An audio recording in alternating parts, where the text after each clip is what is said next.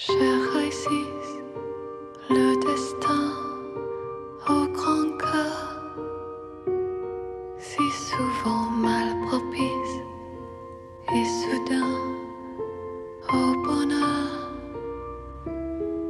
les amants qui s'éclipsent de nos roues à l'automne, Isis. Cher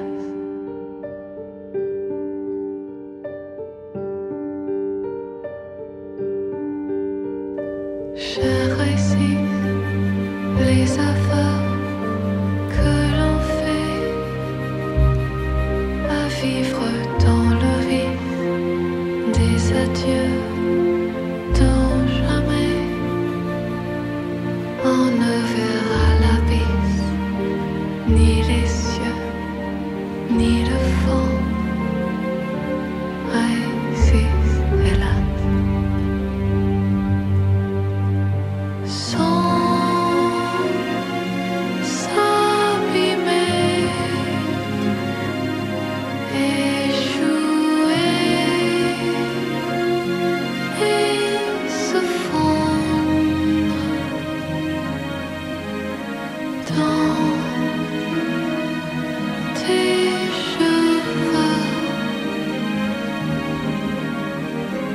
Please.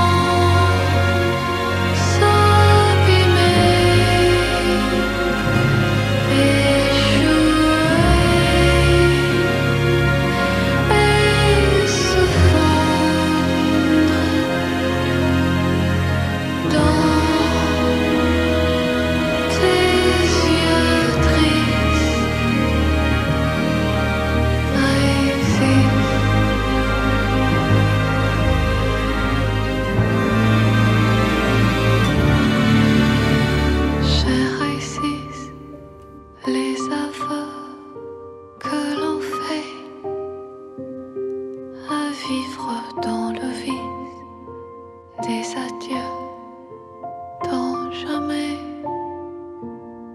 On ne verra l'abysse, ni les cieux,